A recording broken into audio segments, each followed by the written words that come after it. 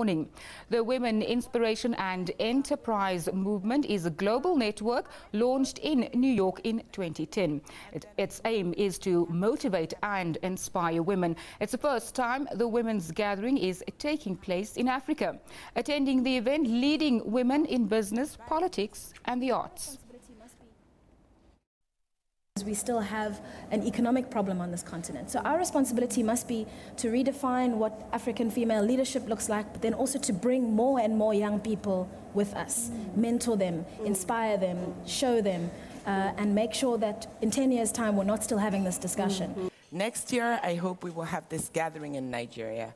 And then I hope that from capital to capital throughout Africa, this will be a movement that will empower every single woman, every single girl, and by extension, because we're family people, our families, our communities, and our nation.